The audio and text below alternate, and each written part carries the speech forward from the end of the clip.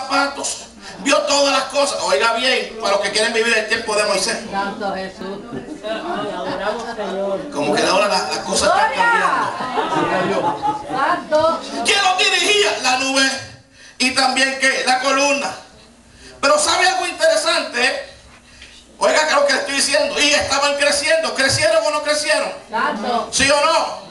Se iban multiplicando. Señor. Iban creciendo. La nube se movía, ellos se movían. ¡Qué gloria! ¿Verdad que sí? ¡Qué gloria! El Señor decía, hay algo más que eso. Porque ahora hay un problema. Y era que lo estaba dirigiendo que la nube y la columna. Y ellos pensaban que estaban en sus días de gloria. Ellos estaban pensando que eran días de presencia. Hay gente que habla del desierto como lo más difícil. El 95% de la gente dentro de la iglesia, hermano, estoy pasando por el desierto. Hermano, y usted, estoy en el desierto. Hermano, y ahora sigo en el desierto. Santo Jesús. La pregunta es cuándo vas a salir del desierto. Aleluya. Gloria a Dios. Santo eres mi Dios. Hay gente que le gusta el desierto y hay gente que busca el desierto. Pero eso es otro tema. Pero el Señor me hablaba algo interesante acerca de esto. Y me decía, por 40 años tuvieron nubes, tuvieron columnas, tuvieron maná, tuvieron agua, tuvieron vestido. ¿Y de qué te quejas en el desierto? ¿Cuántos podemos alabar al Señor? Pero había algo interesante. Y era que siempre manifestaciones y cuántas cosas interesantes habían allí. Por 40 años. Pero un día el viejito le dio con subir a la montaña a consultar a Dios. Y cuando bajó el viejito con un poquito de la presencia de Dios, le dijeron, ponte un paño que no lo podemos ver. ¿Sabe lo que me estaba diciendo el Señor? No es lo mismo vivir de señales que vivir en la gloria. No, no, no, no, no sé quién entendió ahora. A su nombre sea la gloria.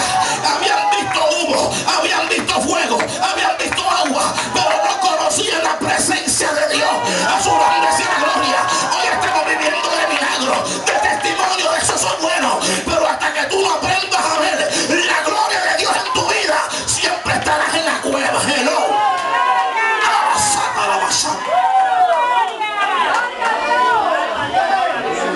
A su nombre sea la gloria. ¿Sabes por qué? Porque el desierto era para cruzarlo en 11 días. Y ellos con el tejemeneje llevaban 40 años. Dios. Se acabó la alabanza ahora. Así que mira ver cuántos años tú tienes en el desierto y cuánto era para que tú lo pasaras. Y ahora, ¿qué decimos? Porque a lo mejor mi desierto era para 5 días. Si llevo 20 años, aquí algo que la matemática no choca.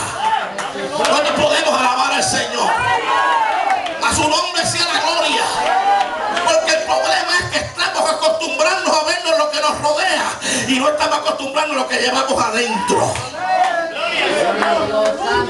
Así que ahora Moisés cambia el parámetro y dice, yo vivía como viendo al invisible. Y yo digo, yo vivo viendo al invisible dentro de mi vida. ¿Cuántos podemos alabar al Señor? ¿Cuántos podemos alabar al Señor?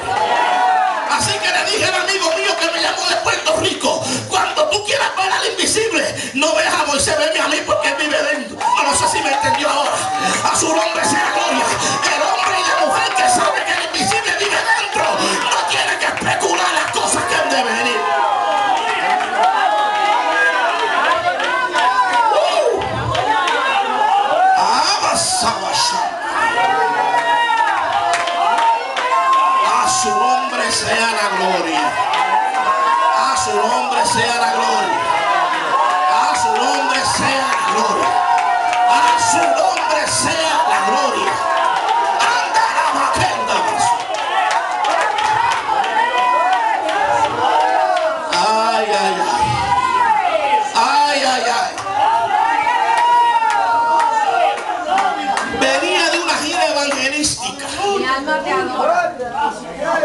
Iba corriendo desde Filadelfia hasta Syracuse por la Peter Pan.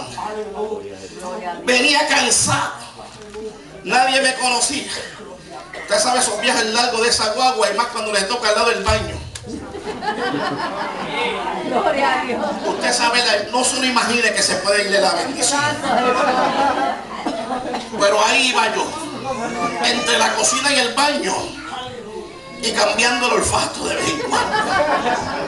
Gloria a Dios. De momento la guagua llega a Jesús. La, la parada está llena en Connecticut. Nos bajamos de la guagua. De repente se para un hombre completamente vestido de blanco y para bendición mía, también puertorriqueño.